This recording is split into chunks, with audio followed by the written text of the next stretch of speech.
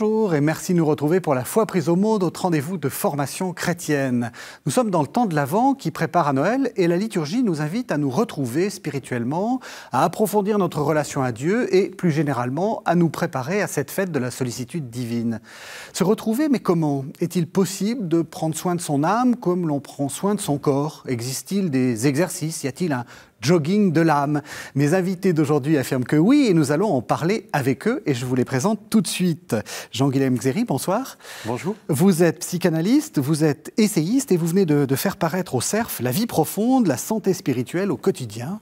On va parler juste après de pourquoi vous avez écrit ce livre. Et puis Alexandra Pupin-Bortoli, bonsoir. Bonsoir. Vous, vous êtes, euh, euh, vous êtes pardon, philosophe et coach et vous venez d'écrire, c'est, je suis captivé par votre, jolie couverture, Le mal à l'âme, l'acédie de la mélancolie à la joie, c'est paru aux éditions du CERF. Alors, je commencer par vous. Pourquoi est-ce que vous avez écrit ce, livre? J'ai souhaité euh, réhabiliter un mot qui était méconnu et, oublié, qui est le mot acédie. Euh, j'ai été frappée de, voir euh, à quel point, eh bien, des, je suis coach, donc j'accompagne des personnes, et à quel point certaines personnes que j'accompagne présentent des symptômes qui sont très proches de ceux qui sont décrits par les pères du désert euh, au IVe siècle, au Ve siècle, concernant l'acédie, c'est-à-dire une hyperactivité, une agitation qui peut mener à un sentiment d'errance ou de perte de sens, et puis d'un autre, autre côté, euh, une lassitude ou une fatigue ou une déprime. Et j'ai été frappée par le parallèle qu'on pouvait faire entre ces descriptions du IVe siècle et notre société euh, d'aujourd'hui. Donc j'ai voulu réhabiliter ce mot. Donc on va revenir à cette question d'acédie juste après que l'on présente le deuxième livre, donc La vie profonde. Pourquoi est-ce que vous avez écrit ça, Jean-Guilhem Xéry? Et pour essayer euh, euh, d'avancer sur cette question de qu'est-ce que ça veut dire qu'être vivant? C'est quoi être vivant? Mais vivant pour de bon, pas mhm. simplement vivant un peu en mode robot, euh, vivant parce que je bouge mes bras, mes jambes, parce que j'ai des activités, mais vivant, vivant en profondeur, ça veut dire quoi? Mhm. Voilà. Et, donc c'est ça que j'essaye d'explorer dans ce, dans ce livre, toujours un peu en, en, proposant au lecteur de se mettre à, à l'écoute de la tradition des premiers siècles, euh, des, pères du désert, comme, comme Alexandra, des, premiers pères de l'Église, où il y a, euh, dans le chrétianisme primitif, un, patrimoine de, sagesse qui nous apprend à vivre, mais, mais, mais, à vivre pleinement, à vivre en profondeur. Euh, donc c'est ça que j'essaye de rendre dans ce livre. Qu'est-ce que ça veut dire qu'être vivant et comment être davantage vivant? Donc les pères seront nos guides pour, euh, pour cette émission. Alors revenons à cette idée d'acédie, parce que j'ai trouvé ça effectivement très, très intéressant. Euh, l'acédie, comme vous dites, c'est un, un vieux mot. On pense que c'est un, une affaire de, vieux moines dans des, dans des déserts. Pas du tout, vous dites. C'est, euh, on en a les symptômes actuellement. On en a les symptômes, mais revenons peut-être sur les descriptions des, des pères. Des, pères. en fait, l'acédie est, est, est, une maladie de l'âme maladie de l'âme, un désordre de mhm. l'âme, et elle est la grande oubliée des péchés capitaux. Elle mhm. faisait partie de, la liste des péchés capitaux. Et c'est un péché qui, consiste à se détourner, pour dire les choses simplement, à se détourner de, sa vie spirituelle, à ne plus prendre soin de sa vie spirituelle, à négliger son, âme en quelque sorte. Mhm. Et ce sont, comme nous disions, les, pères euh, du désert, en l'occurrence Évagre le Pontique au IVe siècle, qui a euh, identifier euh, ce, mal-être mhm. qui touchait certains, certains d'entre eux et qui consiste à, perdre le désir de Dieu, à perdre cet élan vers, euh, vers Dieu euh, c'est-à-dire que toute la transcendance est brisée, euh, il y a une atonie de, l'âme, c'est ce qu'explique euh, Évagre le Pontique, une atonie, c'est-à-dire de l'âme qui, s'effondre sur, sur elle-même. On dit souvent que c'est une sorte de, de, maladie de vieux moines fatigués, ils en ont trop fait, est-ce que c'est plus que ça en fait? Alors il y a, un psaume qui dit... mon âme s'est endormie à cause de l'acédie. Donc effectivement, il y a la notion de, sommeil. Mm d'engourdissement, de, tiédeur de, l'âme. Mais, euh, mais, je pense que c'est quelque chose qui peut toucher tout le monde, à, tous, les, à tous les âges, et nous aussi dans notre, dans notre vie. Mhm. Vous aussi, vous, constatez les, symptômes de l'acédie dans, dans, notre... Ah oui, moi je bois du petit lait en, entendant Alexandra, parce que je partage exactement le même diagnostic, à la fois au niveau des, des, personnes euh, que je peux euh, voilà, accompagner, mais aussi au niveau de la société. C'est-à-dire que cette atonie de l'âme, parce que c'est vraiment ça dont, il s'agit. Hein. Moi, l'image qui me vient hein, avec la Cédie, c'est le bateau au milieu de, de l'océan sans gouvernail et, et sans quille. Donc en fait, il, est avec là. Une voile, Avec une voile parfois trop grande. Et, donc ça avance, ça avance, ça avance. voilà. Donc c'est un mélange de, effectivement, dans, la symptomatologie telle que le décrivent euh, euh, les pères, et Eva Grand-Tête, et puis d'autres ensuite, et, pas simplement ensuite les, les pères des premiers siècles, mais ça a été repris dans toute la tradition de, de l'Église. Ça fait à peine quelques siècles hein, qu'on l'a oublié. Mais euh, il y a beaucoup de, d'une tendance à la distraction, à être mm. facilement distrait. Une tendance à ce qu'on appellerait en termes contemporains bougisme, c'est-à-dire ne jamais tenir en place, l'agitation, voilà, l'agitation permanente, quelque chose comme ça. Il y a euh, aussi un, rapport altéré au travail. Alors il est décrit avec les moines, et c'est des descriptions euh, souvent d'ailleurs très drôles. C'est soit le moine en fait qui, qui ne fait rien, soit au contraire le moine qui est dans l'hyperactivité. Mhm. Voilà. Euh, il y a aussi un, souci excessif du corps.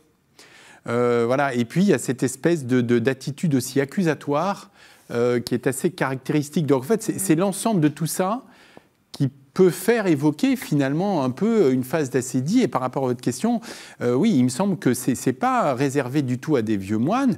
Euh, euh, je crois que c'est vrai au niveau de notre société. Si on reprend un peu ces, ces, cinq symptômes, il y en a d'autres, hein, mais principaux, qui quand même sont très présents dans notre société. Et puis, j'allais dire, qui peuvent nous, nous atteindre ou que l'on peut traverser, à, je crois, même quand on a 25, 30 ou 35 ans. Et qu'on n'est pas moine et qu'on n'est pas moine. il y a, la notion de perte de sens dont on parle beaucoup aujourd'hui. Et on peut se demander si cette perte de sens n'est pas peut-être une, une acédie qui s'ignore en mhm. réalité. Mhm. Euh, alors, ce qui est intéressant dans, dans l'acédie, c'est qu'il y a tout un mécanisme. Il y, a des, il y, a des, symptômes, il y a des manifestations, mais il y a aussi tout un mécanisme. Alors, rappelez-les, comme ça, on va voir si on en est. Enfin, les téléspectateurs euh, vont voir s'ils sont eux-mêmes victimes d'acédie. euh, oh, euh, on va dire que ça, ça touche euh, chacun de manière différente. Oui. Parce que l'acédie vient nous chercher là où sont nos blessures. Et nos insatisfactions. Donc ça peut être très différent pour chacun. Pour reprendre ce que, ce que vous disiez, euh, il y a effectivement l'hyperactivité, par exemple. On peut vraiment sombrer dans une forme d'hyperactivité. On peut être dans une hyperconsommation Mhm. pour combler en quelque sorte le vide, le vide d'une vie euh, qui est euh, d'une intériorité vide en quelque sorte. On va, on va remplir les vides par des trop-pleins, mhm. Euh, par une hyperconsommation. On va être aussi dans une quête d'émotions fortes. Ça, c'est quelque chose, notre société est quand même une société de, l'émotionnel, mhm, et on, va, on va chercher des émotions fortes comme pour combler ou pour remplacer plutôt la, joie et la paix que l'on perd dans la CDI. Mhm. Le, ce qui donne, c'est à mon sens, ce qui, je ne sais pas si on partagerait le même avis que moi, mais euh, ce qui montre qu'une âme est en bonne santé, eh bien, c'est la joie et la paix qui émanent en fait de, cette personne. Mhm. Euh, et dans la CDI, eh bien, il n'y a, plus cette joie et il n'y a plus cette, cette paix. Donc, on va compenser avec des émotions, une quête d'émotions mhm. continuelle. Euh, qu'est-ce qu'il y a d'autre encore comme symptômes? On a, Il y avait aussi euh, le fait d'abandonner ses engagements. Ça, c'est quelque chose qui est très présent. C'est pour reprendre l'expression de Bernano, c'est à quoi bon? À quoi bon? Parce que finalement, euh, on se retrouve, les choses perdent leur sens. L'acédie nous fait perdre le, le, comment dire, le discernement on perd le discernement, il y a un désordre du corps et de l'esprit, parce que notre âme n'est plus du tout dans une verticalité, en quelque sorte, elle n'est plus reliée à, une, à quelque chose, à une vie spirituelle. Elle est, on est comme esselé, finalement, et sans guide. Et, euh, et on risque alors de, de, de, de quitter nos engagements, de, et là, c'est ce qu'on ce qu'on entend souvent, c'est on, se désengage de sa famille, on se désengage de, de son travail, on veut déménager, il faut qu'on bouge, le bougisme, comme, vous disiez. Et alors, on va compenser par de l'hyperconsommation, etc., comme je disais, mais tout ça n'est pas satisfaisant, ce n'est pas suffisant.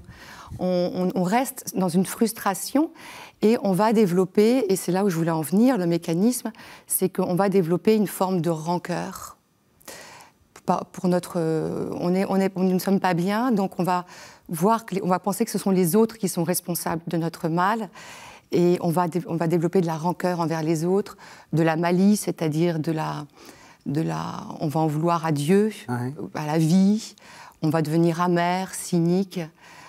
Voilà, et c'est là, c'est la dégringolade. C'est intéressant parce qu'on voit bien qu'il y a des, des, symptômes extérieurs, pour parler, qui sont effectivement très, très divers, alors que c'est vrai qu'on imagine plutôt le moine ascétique un peu dégoûté, c'est le moine qui va pas à la messe ou qui va plus, qui va plus aux offices. Mais vous dites, non, il peut être aussi hyperactif. Mais au fond, le, vrai symptôme, c'est cette espèce de dégoût profond qui conduit à une sorte d'amertume. C'est ça qu'il faut faire plutôt. Oui, tout à fait.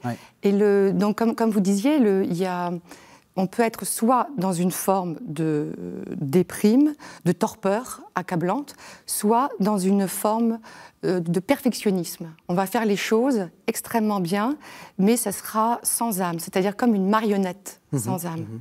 désincarnée. Et, euh, et, ça, ça peut être un piège parfois. On peut croire qu'on est investi, qu'on fait les choses, mais après, est-ce qu'on est qu'on on y met notre âme? Est-ce qu'on y met... Est-ce qu'on y met quelque chose? C'est un peu effrayant, hein, parce qu'on se sent un peu tous victimes d'acédie, là. Euh, entre le fait d'être hyperactif, hyper consommateur, enfin, oui. on est... C'est pour ça que je, pense, je crois que nous le partageons, qu'il y a quelque chose un peu d'une maladie du siècle. Hein, C'est ça. Oui, Après, euh, euh, moi je me retrouve complètement dans, dans, ce que vous nous présentez. Hein, et, et j'ajouterais volontiers qu'à travers tout ce que vous dites, on, voit combien euh, c'est une maladie qui est complexe. Oui. C'est-à-dire que dans, toutes les maladies euh, d'origine spirituelle dont, nous parlent les, les pères, hein, euh, la colère, les, addictions, la, enfin, la vanité, etc., celle qui est la plus complexe, très clairement, c'est l'acédie. Hmm. Et ce qui la rend complexe, c'est deux choses. C'est que, un, elle touche vraiment à, au plus profond de, l'âme, à sa vitalité, mhm, mhm. Voilà, et pas simplement sur telle ou telle partie de, notre vie intérieure, comme la colère sur la dimension plus irascible, enfin, ainsi de mhm. suite. Elle est vraiment au profond. Et puis parce que justement, les, symptômes sont nombreux et souvent paradoxaux. C'est-à-dire que le, rapport au travail, ça peut être une hyperactivité, ça peut être au contraire, je fais plus rien. Euh, le, rapport euh, à la distraction, ça sera je vais me distraire hein, et en même temps je vais être incapable de m'engager dans quoi que ce soit d'une façon un petit peu stable et pérenne. Mmh. Et, donc c'est aussi euh, à la fois cette multiplicité des, symptômes et, et, leur caractère paradoxal qui fait que eh ben, faire le diagnostic d'acédie, il me semble qu'il est prudent de ne pas le faire soit seul pour soi. Mmh. Parce que c'est trop complexe. Donc, avis aux téléspectateurs qui se disent je suis en pleine acédie à partir des symptômes que vous. Peut-être, mais en même temps, ce n'est pas un symptôme qui fait l'acédie. Tout à fait. Tout à fait. Et ça dépend, et c'est pour chacun, ça peut être différent. Oui, oui c'est ça. Donc c'est encore plus. Euh, Donc si on a des doutes et qu'on a effectivement cette espèce d'indolence, d'atonie de l'âme, de perte de sens, enfin tout, tout ce que euh, euh, Alexandra a, énoncé, c'est, j'allais dire, se, mettre un peu, prendre un peu l'avis de quelqu'un d'un peu éclairé, à la fois parce que c'est un avis tiers, et, et aussi parce qu'il faut quand même euh, voir un peu les choses dans leur globalité. Et c'est pas euh, la CEDI, c'est un peu, attention un peu au syndrome du, de l'étudiant de, deuxième année de médecine, c'est-à-dire qu'il commence, euh, il connaît pas grand-chose, il, a, il a son cours de gastro et là il, se dit bah tiens ça y est, dès que j'ai un symptôme, un micro symptôme, ça y est, j'ai que c'est que j'ai la liste de tout. et, j'ai un cancer. et, je vais... voilà. et d'autant plus, d'autant plus qu'on est vraiment dans la CEDI sur une ligne de crête entre maladie de l'âme et maladie psychologique. C'est-à-dire qu'on a des symptômes, On, a euh, euh, des, symptômes qui sont très proches de, ça c'est vous qui connaissez bien tout ça, euh, des symptômes de, dépression, de mélancolie. et donc c'est très difficile de, parfois justement de, faire la mmh. part des choses et de distinguer. et malheureusement, aujourd'hui, beaucoup de personnes peut-être sont dans une forme de dépression, mais ignorent que c'est en réalité une maladie spirituelle. Mmh, mmh. Et pas forcément qu'une maladie mmh. psychologique. Et, euh, Alors, vous écoutant, j'ai deux euh, questions. Parce que est-ce que c'est une maladie individuelle ou est-ce que c'est. Vous avez parlé du mal du siècle. Est-ce que c'est la société qui nous pousse? Parce que d'une certaine façon, l'hyperconsommation euh, j'en suis probablement malade, mais, mais on, me pousse quand même à, aller dans cette direction-là. Euh, trop travailler, euh, peut-être que voilà, j'en suis, suis responsable, mais tout me pousse à trop travailler. Donc, vous voyez ce que je veux dire? Est-ce que c'est soi ou est-ce que c'est la, pour vous, c'est la société ah, la, société n'est pas autre chose que nous-mêmes. Oui. C'est-à-dire que nous, nous, créons cette société, nous, nous jouons le jeu de la société. Et à la fois, nous sommes victimes de notre propre jeu. C'est ça. Euh, donc, euh, je pense qu'effectivement, notre société est prise en flagrant délit d'assédie. dans le sens où elle ne met en aucun cas en, avant la dimension spirituelle, elle privilégie le, la dimension de la, de la raison, elle privilégie le matériel, au détriment très souvent du spirituel. Donc déjà, le fait de se détourner de la dimension spirituelle, c'est-à-dire que la société est déjà dans, un, dans le mouvement ascédiaque. Hmm. donc il n'est pas étonnant que les symptômes soient, soient présents et, on est effectivement pris dans un, dans un, cercle, dans le cercle vicieux de, de, cette, de cette, surenchère, je dirais, hmm. Qui, qui, qui, dans laquelle nous met la CDI ou bien au contraire à côté dans une, dans une complètement comment dire dans une forme de déprime, mmh. soit soit hyperactif, soit dans une forme de déprime. Vous êtes d'accord? Oui, complètement. C'est-à-dire que euh, ce qui, ce qui, me vient en vous, vous entendant, c'est que un, peu comme il y a des facteurs qui vont favoriser les maladies cardiovasculaires, je pense à la sédentarité, au tabagisme, à la malnutrition, de la même façon, il y a, il y a des facteurs qui vont favoriser la survenue de telle ou telle maladie spirituelle, et là, en l'occurrence, de, de l'acédie. Mmh. Et, donc, euh, euh, on, est dans un environnement qui favorise, donc non pas qui déclenche de façon automatique, hein, on n'est pas tous assédiaques, mais qui favorise. D'où la nécessité d'une vigilance particulière. C'est effectivement le, matérialisme, le refus de la dimension spirituelle, euh, la, confusion entre l'émotionnel et la vie spirituelle, L'éloignement de la nature aussi. C'est intéressant. L'éloignement de la nature. Il y, a, une résonance profonde entre la nature environnementale et la nature humaine dans justement dans toute sa, sa complexité, sa, euh, voilà. Donc euh, le, évidemment les injonctions à l'hyperconsommation, l'addiction de masse, de masse pour à laquelle personne n'échappe au numérique. Évidemment, tout, tout mm. ça, ce, sont des choses qui sont, encore une fois, qui ne sont pas déclenchantes, mais qui sont favorisantes. D'où la nécessité d'une vigilance intérieure, et que d'ailleurs les, pères nous, nous, disent, la première chose pour les C10, c'est d'abord, un, d'en prendre conscience, donc encore une fois, ça ne se fait pas tout seul. Et, deux, euh, voilà, vigilance intérieure à, ce qui se passe, à, ce que je dois euh, arrêter, ce que je dois poursuivre. Enfin, voilà. Mmh. Donc, euh, il y a des facteurs favorisant aujourd'hui dans notre culture. Alors deuxième question, mais je vais d'abord lancer un texte, mais je vous préviens que ça va être ma question, c'est est-ce que c'est est -ce c'est un péché ou est-ce que c'est une maladie? Alors pour nous introduire à cette question, je vous propose qu'on entende le texte du chapitre 5 de la première épître de Pierre, sont les versets 5 à 9. Et tous, dans vos rapports mutuels, revêtez-vous d'humilité, car Dieu s'oppose aux orgueilleux, mais aux humbles, il accorde sa grâce.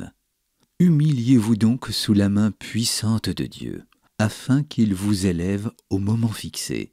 Déchargez-vous sur lui de tous vos soucis, car il prend soin de vous. Soyez sobre, veillez. Votre adversaire, le diable, comme un lion rugissant, rôde, cherchant qui dévorer. Résistez-lui, ferme dans la foi.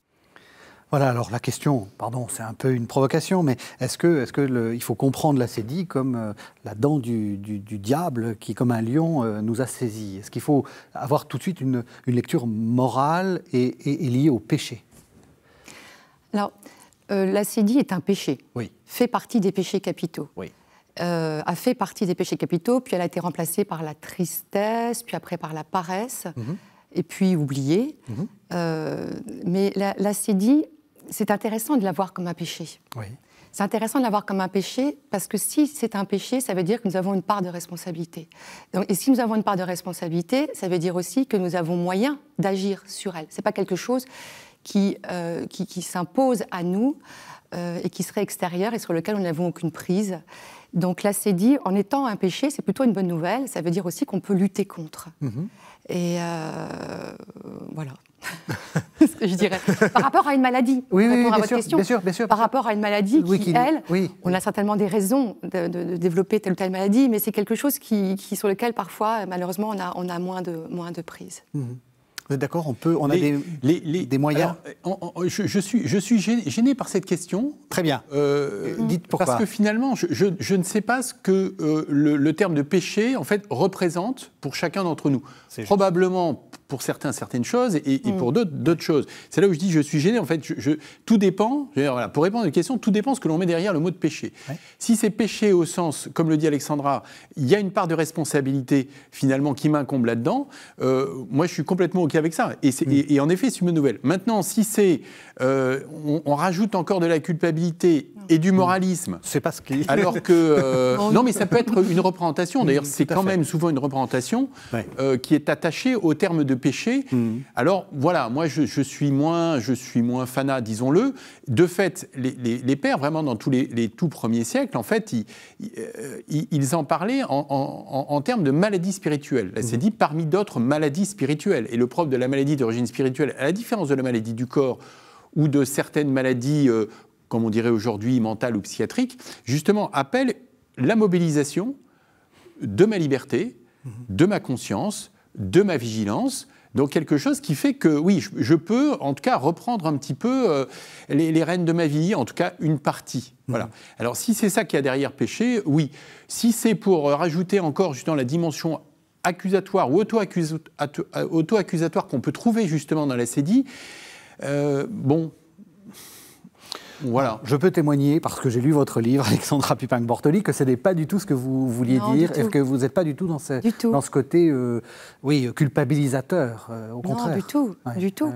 Du tout, d'autant plus que euh, la, la CEDI, en tant que péché, est aussi un, comment dire, une alerte, c'est-à-dire que c'est un moyen pour nous dire attention, il y a quelque chose dans, dans, dans, votre vie, dans ta vie euh, spirituelle ou dans ta vie quotidienne qui n'est pas ajusté. Mhm. Donc il faut voir, à mon sens, les péchés, enfin moi je vois les péchés, euh, au même titre que les vertus, hein, euh, les péchés comme, comme une magnifique, enfin une formidable grille de lecture. Oui.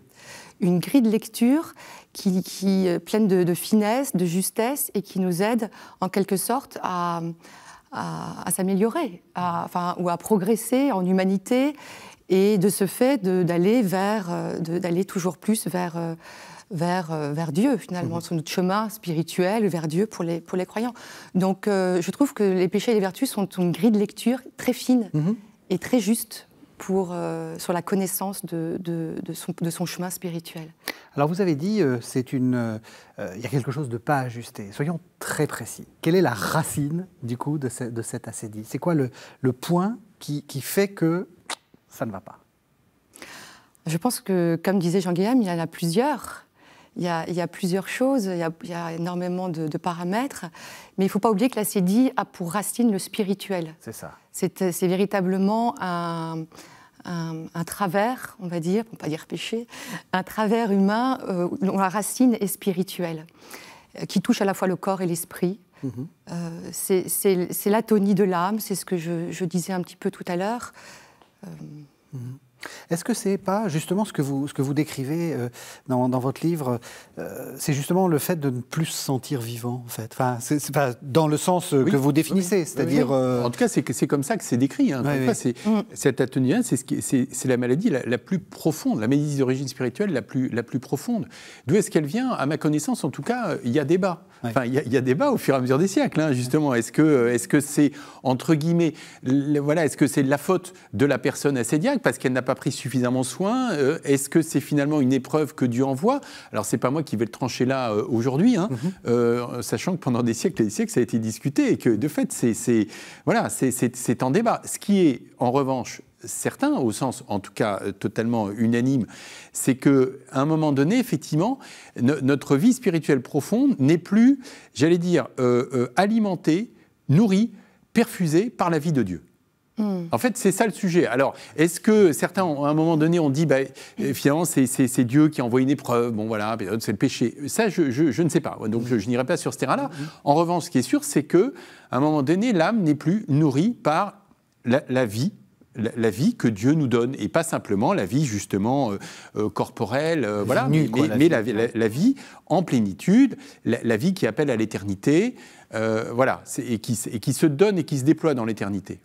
Et donc c'est cette vie-là dont finalement euh, l'acédiaque euh, est, coupée. Alors, momentanément, on peut évidemment l'espérer. Hein. C'est pour ça qu'en même temps, il, nous donne justement des points d'alerte. J'aime bien ce que mm. vous disiez sur la dimension d'alerte.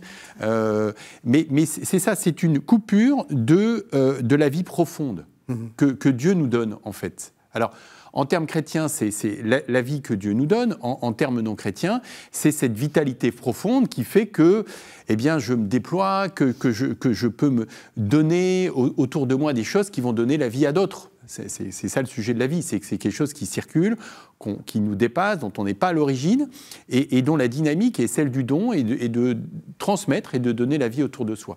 C'est cette vie-là, finalement, dont, euh, quand on est assédiaque, en fait, on est coupé. Uh-huh. Voilà, partiellement, voire à un moment donné, totalement. C'est un peu coupé de son intériorité, on, est, on est coupé de la.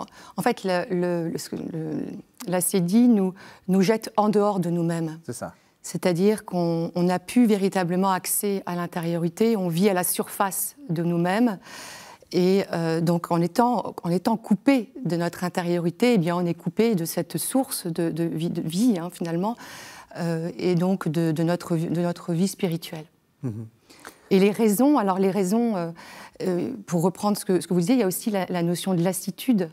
Je pense que nous sommes des êtres humains tous et on peut à un moment donné avoir une, ressentir une forme de lassitude, l'usure du temps, euh, la perte de sens donné aux choses du quotidien. On, laisse filer en quelque sorte, on n'y met, plus, met plus notre force d'âme. Euh, et je pense que toutes ces choses-là aussi, euh, l'excès dans le travail aussi, font, mhm. partie des, fait partie des, des, des causes de la CEDI. Alors, je vous propose un deuxième texte pour euh, nous faire transition vers la deuxième partie de l'émission, c'est-à-dire qu'est-ce qu'on peut faire? Parce qu'on ne va pas rester dans ce, dans ce constat euh, complètement désespéré. Je vous propose qu'on écoute la première épître de Jean. Ce sont, euh, donc c'est le chapitre 3, ce sont les versets 18 à 23. Mes petits enfants, n'aimons pas en parole et de langue, mais en acte et dans la vérité. À cela nous reconnaîtrons que nous sommes de la vérité, et devant lui, nous apaiserons notre cœur, car si notre cœur nous accuse, Dieu est plus grand que notre cœur, et il discerne tout. Mais bien aimés, si notre cœur ne nous accuse pas, nous nous adressons à Dieu avec assurance. Et quoi que nous demandions, nous l'obtenons de lui parce que nous gardons ses commandements et faisons ce qui lui agrée. Et voici son commandement. Adhérer avec foi à son Fils Jésus-Christ, et nous aimer les uns les autres, comme il nous en a donné le commandement. Alors j'avais voulu vous faire entendre ce texte à cause de, ce verset, enfin grâce à ce verset, si on peut dire.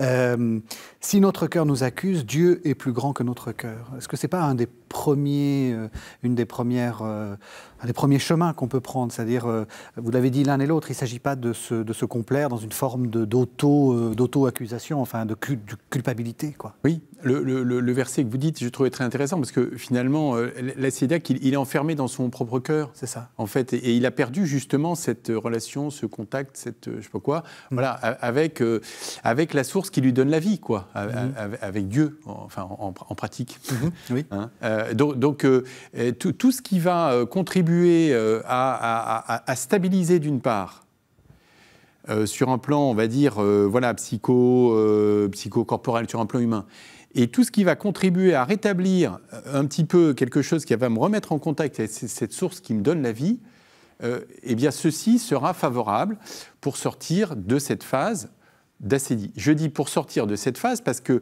on ne sort pas de l'acédie comme on sort d'une angine après cinq jours d'antibiotiques. Mhm. Euh, c'est quelque chose qui va, euh, on l'a dit, qui va mobiliser euh, quand même de la détermination, enfin en tout cas du diagnostic, du discernement, de la détermination, de la force, de l'endurance. Hein. Le, premier mot-clé dont, nous parle, premier à maladie complexe, il, faudra activer plein de, plein de leviers, plein de ressources. Hein. Le premier de ces leviers, c'est persévérance, patience. Il faut persévérer faut durer. Ne pas prendre de, décisions justement inconsidérées parce que euh, tout ce qui va être, on risque d'être pris dans, plus dans le bougisme et l'agitation mhm. que dans quelque chose, dans une transition euh, discernée, euh, véritablement choisie, ancrée, etc. Donc, stabiliser. Stabiliser en ne prenant pas de décisions hâtives, importantes, et puis en persévérant. Voilà. Persévérance et patience, ça c'est vraiment le, le premier de tous les leviers. Il y a aussi avoir une activité concrète. Hein, euh, parce que l'activité, le propre de l'activité concrète, hein, et, les pères disaient concrètement, c'était d'aller faire le jardin, d'aller euh, euh, tisser des paniers, parce que mhm. c'est, ça mobilise le corps, ça aide l'esprit à se concentrer, donc ça lui évite de faire le petit vélo et puis de partir dans ses films de ma vie est nulle, machin, et puis de toute façon, on vit dans une société complètement pourrie, et là, ça y est, c'est parti, et là, on ne s'en sort plus. Donc on se concentre sur ce que l'on fait. Et l'intérêt aussi du travail concret, dans le cadre de la CEDI, c'est que ça a un début et que ça a une fin.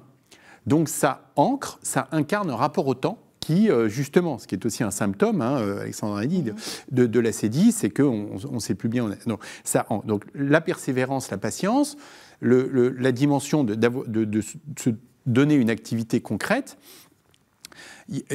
Autre levier aussi, c'est donc euh, de, de, reprendre le chemin de la prière, de la méditation.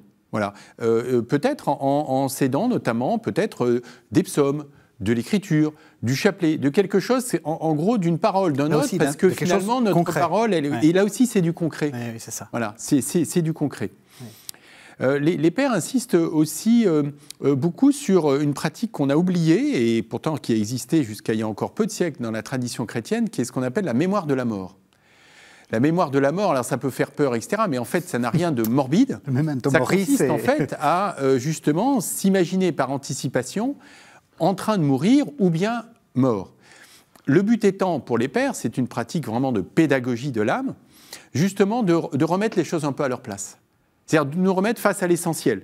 Qu'est-ce qui est essentiel? Quand, quand, je serai au seuil de la mort, qu'est-ce qui vraiment qu'est-ce qui a eu de la valeur? Qu'est-ce qui n'a pas eu de la valeur? Quels sont les attachements finalement qui sont bons dans ma vie? Quels sont les attachements finalement qui n'ont, euh, je m'en aperçois, non seulement aucune valeur, mais peut-être qui me font du mal? Donc c'est un, une espèce de, de, moyen un peu anti-vanité, anti-distraction pour revenir à l'essentiel. L'essentiel étant finalement encore plus fondamentalement le fait de s'en remettre, remettre sa vie en Dieu. Donc c'est aussi une pratique qu'il conseillait beaucoup, celle aussi de rendre grâce.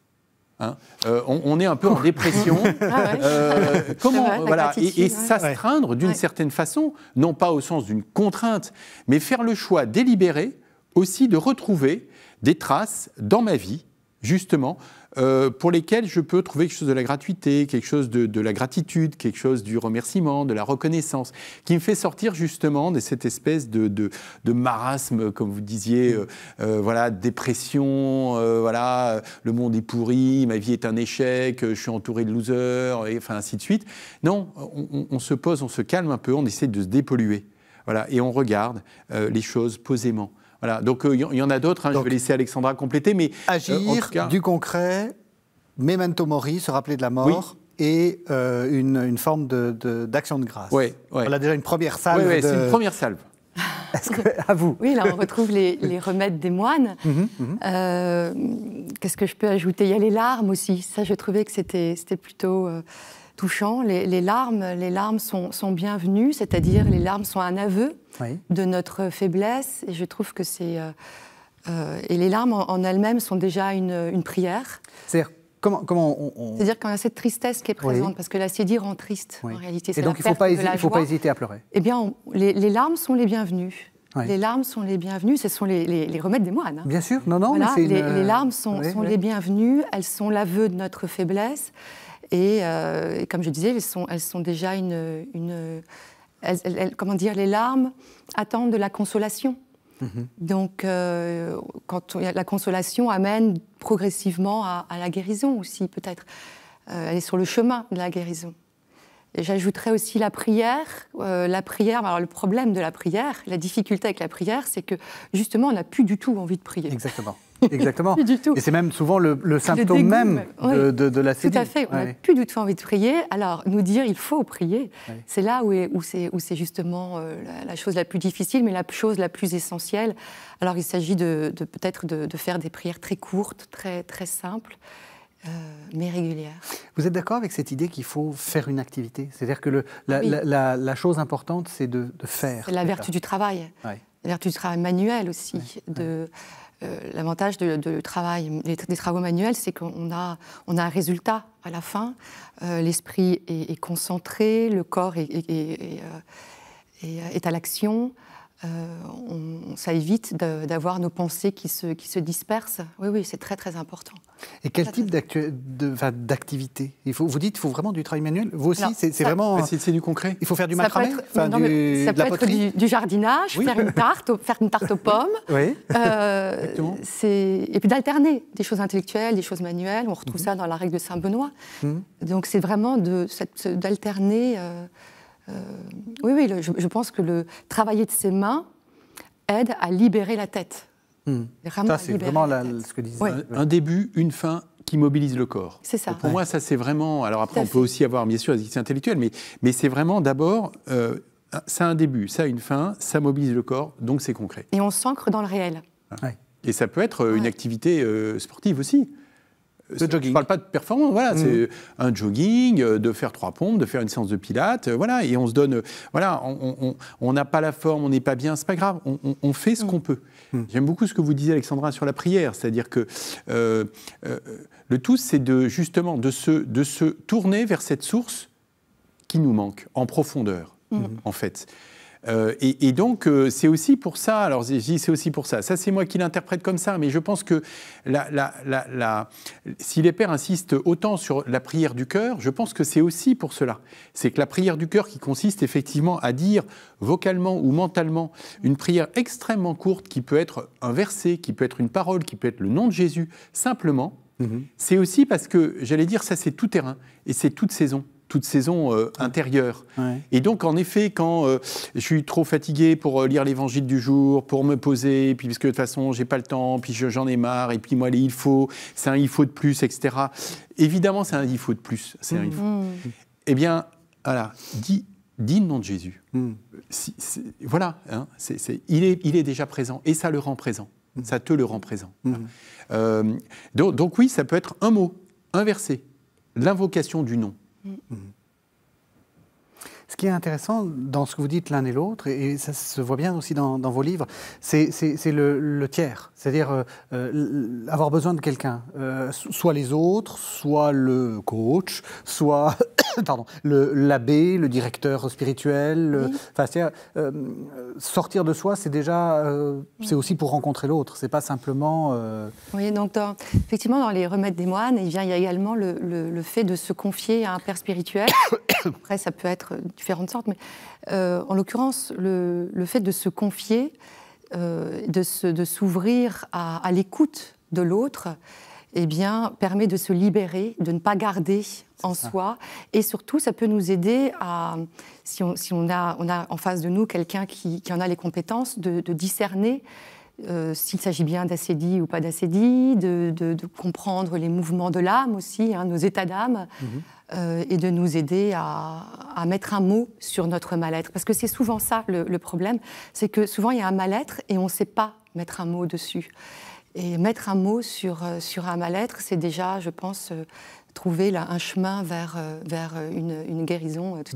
D'une certaine façon, vous êtes en train de réhabiliter la figure du, de ce qu'on appelait autrefois, et c'est souvent mal compris, le directeur spirituel, parce qu'on a, ou le père spirituel. Il peut y aussi y avoir des mères spirituelles. Oui, c'est vrai. Non, mais c'est très important. Tout à fait, et, et, en plus, la question du directeur, on a l'impression qu'il est là pour nous diriger. Donc, mais vous, vous dites non, c'est avoir le regard de l'autre sur soi pour, bah, pour essayer d'évaluer, de, parce qu'on n'est pas bon juge de soi-même. et de nous aider à discerner. Euh, quel est notre mal, enfin comment, euh, oui, c'est ça, et puis, et puis, et puis discerner nos, états d'âme, enfin, nous aider à, avancer. Aussi, oui, on, le euh, disait tout à l'heure pour le diagnostic, c'est vrai, vrai, aussi pour, j'allais dire, un peu l'accompagnement, parce qu'encore une fois, ça, ça, demande un certain temps de traverser une période d'assédie. Donc, on n'est pas bon juge pour soi-même, on est surtout très mauvais juge pour soi-même. Hein. notre cœur nous accuse. donc, le, le, alors, la accompagnateur, alors je ne sais pas, le psy, le coach, mm. le directeur spirituel, le père spirituel, etc. Il ne s'agit pas de tout mélanger, mais en mm-hmm. tout cas, à travers tout ça, et ça peut être d'ailleurs plusieurs d'entre eux simultanément ou séquentiellement, euh, voilà, hein, et chacun dans son registre. Mais c'est bénéficier d'un regard extérieur pour, pour aider au diagnostic, mais aussi pour encourager euh, il y a quelque chose de très décourageant la période décédie. Et donc, euh, oui, on a tous besoin à certains moments d'être, de se sentir soutenu, de sentir qu'on n'est pas seul, parfois de bénéficier de, effectivement de conseils aussi, euh, d'être, ouais, d'être encouragé.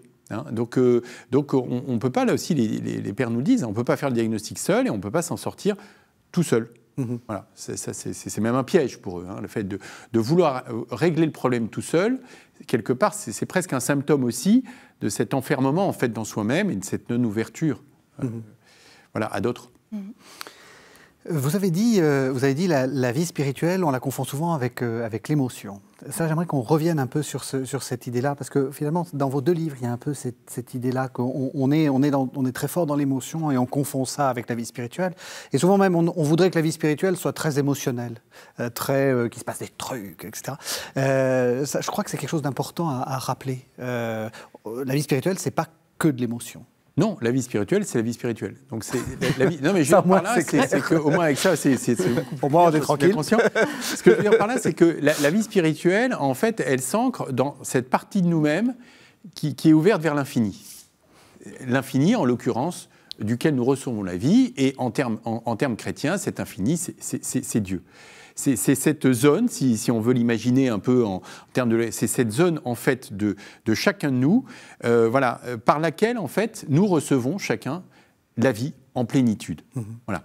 Euh, les émotions, c'est un autre étage voilà, de, de, nous-mêmes qui nous fait, pour le coup, éprouver des choses, qui nous fait ressentir des choses dans notre mental, mais aussi dans notre corps. La vie spirituelle, elle n'est pas spontanément ni ordinairement sensible. Mmh c'est une vie qui se transmet justement à la vie euh, psychique, à la vie émotionnelle, à la vie du corps et réciproquement. Mais la vie spirituelle, elle est réelle, pour autant, elle n'est pas spontanément sensible, à moins, on va dire, de grâce particulière, de moments particuliers et aussi d'attention particulière. Mm-hmm. Hein.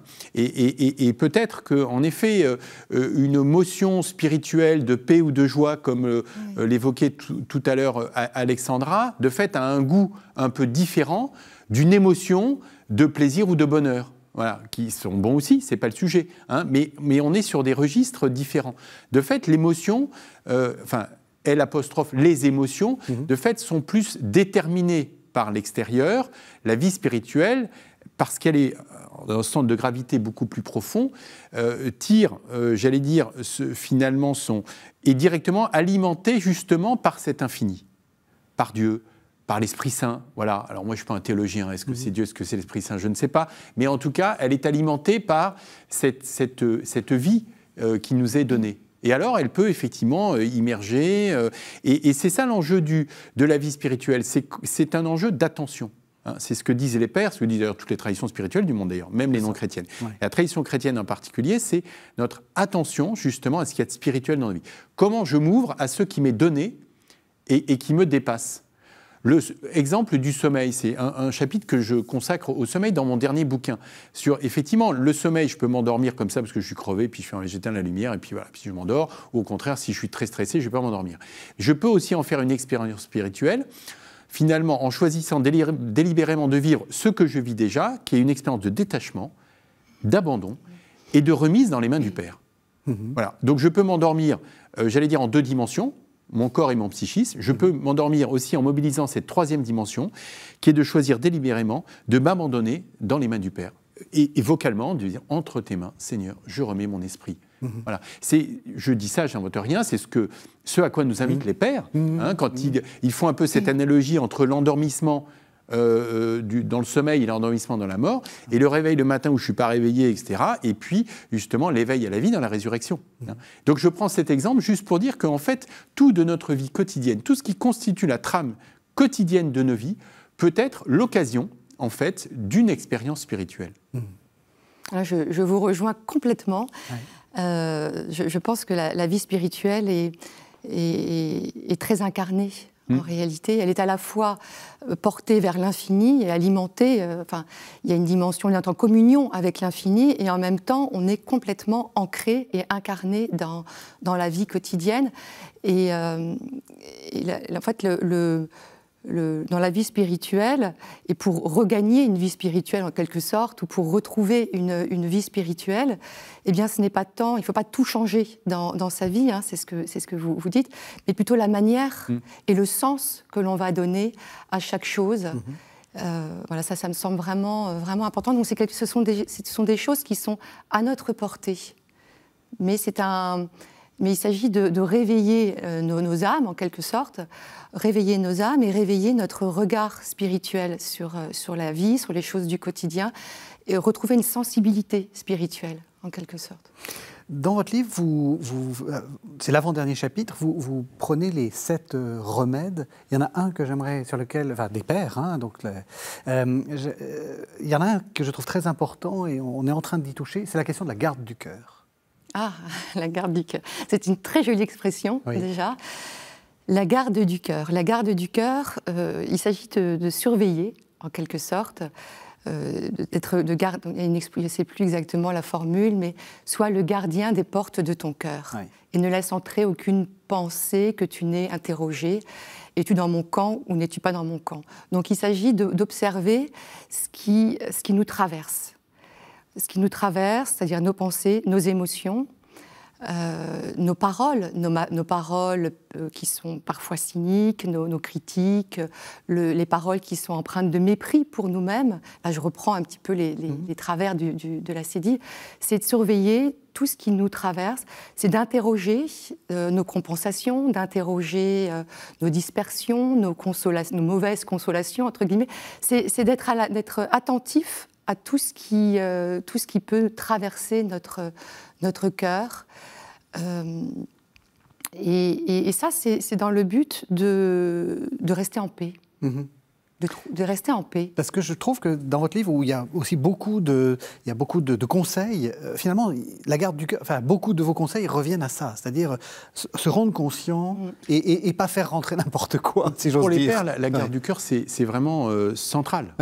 c'est vraiment central, c'est-à-dire que, et ça rejoint ce qu'on disait tout à l'heure sur, le, sur la, bonne nouvelle qu'il y a quelque chose mm. qu'on peut faire. Enfin, voilà, c'est effectivement la, soit le gardien de ton cœur, mm. soit le portier de ton cœur. Moi, je trouve ça très très, très, délicat et en même temps très puissant. C'est-à-dire que j'ai la possibilité, effectivement, de, euh, euh, d'observer ce qui est en train de se passer en moi.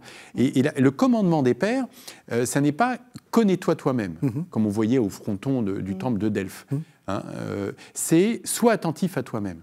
Et la nuance est, essentielle. Alors, les deux ne s'opposent pas, évidemment. Plus on est attentif à soi, et mieux on se connaît. Mhm. Mais ce n'est pas une connaissance de se regarder le nombril. C'est pas regarde-toi le nombril, c'est regarde ce qui est en train de se, de se passer en toi. Regarde les pensées qui circulent, regarde tes envies qui passent, regarde les films que tu es en train de te faire. Mhm. Euh, voilà, euh, regarde, etc. Et, et, et, puis interroge, comme dit Alexandra, est-ce que c'est plutôt bon pour toi, tu penses, ou plutôt pas bon pour toi? Donc euh, c'est un, j'observe, deux, je discerne, et trois, j'agis je laisse rentrer si je pense que c'est bon pour moi, ou bien effectivement, je repousse, et en l'occurrence, repousser, c'est surtout laisser passer, ne pas s'y attacher, etc. Donc la garde du cœur, c'est vraiment le, mode euh, euh, central, essentiel de la vie intérieure, euh, dans, en tout cas dans, la vie spirituelle, telle que le christianisme primitif nous l'enseigne. Hein. Donc il faut vraiment enfin, y revenir, parce que c'est essentiel. Mmh. Et, et, euh, ça porte du fruit, ne serait-ce que parce qu'on se rend compte qu'on peut être autre chose que finalement une espèce de passivité. quoi. Oui, c'est ça. De, ah bah là, il arrive ça. On redevient maître au, moins de ça. Au même, si, on, même si on a l'impression d'être, comme vous dites, le, navire sans rame. Les, pères disent, euh, c'est, enfin, moi j'ai trouvé ça très intéressant. Euh, tu n'es pas responsable en aucune façon des pensées qui te passent par l'esprit. En revanche, Là où tu as une part de responsabilité, c'est de savoir si tu les laisses entrer ou si tu les laisses pas entrer. Mm. Je trouve ça très déculpabilisant par rapport à tout ce qui peut, en tout cas moi, me traverser l'esprit à chaque seconde, etc. Je suis pas responsable de ça. Par contre, je suis responsable d'observer ce qui se passe et de les laisser rentrer ou pas, de m'y attacher ou pas. De choisir d'exercer sa liberté finalement et de ne pas se subir. Alors, vous vous connaissiez pas, vous avez, il n'y a pas une sorte de conspiration, vous n'avez pas écrit votre livre ensemble, mais euh, votre dernier chapitre, Guillaume, euh, Jean-Guillaume Zéry, c'est rire, et vous, votre dernier chapitre, c'est la joie. Euh, donc vous êtes d'accord Pourquoi, pourquoi c'est si important ça? La joie, le rire? Bah, pour moi, on est à la fin de l'émission. Je suis désolé, une âme qui est en bonne santé est une âme qui, qui, qui est joyeuse, euh, et qui, euh, oui, c'est, disons que le premier marqueur de la, d'une bonne santé de l'âme, c'est la joie pour moi. Mm. Et, le rire va avec la joie. Mm. Oui, et les, les, les, les, pères, en fait, ont tout un tas d'apophthegmes, donc ils sont un peu des, des, des, à la fois des aphories, des petites histoires, etc. Au, drôle, du rire. Souvent drôle. du rire. Voilà. et, les pères étaient des marrants, en fait. oui, ils étaient à la fois très, très ascétiques et, très austères, et, à la fois très, très drôles. Thomas d'Aquin, qu'on ne peut pas taxer d'être quand même un peu de la, la gaudriole, prescrivait vraiment, justement, et, condamnait quelque part les gens qui étaient tout le temps sérieux, qui ne, qui ne souriaient jamais, qui ne voulaient jamais alléger l'atmosphère, etc. C'est-à-dire que c'est, le, rire est quand même bon pour l'âme. Mmh. Le rire est bon pour l'âme. Voilà. Donc c'est à la fois une, une façon d'alléger le fardeau. Hein. Euh, et donc, il y, a beaucoup de prescriptions, d'ailleurs, dans toute l'histoire de l'Église. Hein, je parle de saint Thomas d'Aquin, mais, mais d'autres après lui. Mais, mais, les pères, d'ailleurs, avaient des apophthegmes euh, très drôles. Enfin, je ne sais pas si on a le temps d'en raconter. Enfin, Allez, en tout cas, vous en juste, si on en... juste un, juste un, on a juste le temps. Alors, juste, le temps, voilà, c'est un, un, frère qui, euh, qui, qui, demande à un de ses frères bah, Tiens, comment est-ce que tu as trouvé l'homélie de, ce matin là, du, de, de, de Abba Antoine? Et l'autre qui lui répond Abba Antoine, eh ben, il a aussi bien parlé que Abba Marc. Et l'autre qui dit Mais pourtant, Abba Marc, il, il prêche très très mal Oui, bah justement. par exemple, voilà, il y en a beaucoup des comme ça, euh, voilà, qui sont encore plus drôles. Alors, je vous rappelle les deux titres de, vos, de, vos, deux livres. Donc, Alexandra Pepin-Portali, Le mal à l'âme, l'acédie de la mélancolie à la joie, c'est paru aux éditions du Cerf. Et puis, Jean-Guilhem Xéry, La vie profonde, la santé spirituelle au quotidien, et c'est aussi paru aux éditions du Cerf. Merci beaucoup parce que ça fait du bien dans ce, dans ce moment un peu compliqué, votre, votre présence et, cette, dernière, cette dernière note sur la joie, je trouve que c'est une excellente manière de monter vers Noël. Merci vraiment à tous les deux. Merci, Merci de nous avoir suivis. Vous savez que vous pouvez retrouver cette émission sur le site internet de la chaîne www.ktotv.com et on se retrouve la semaine prochaine. Thank you.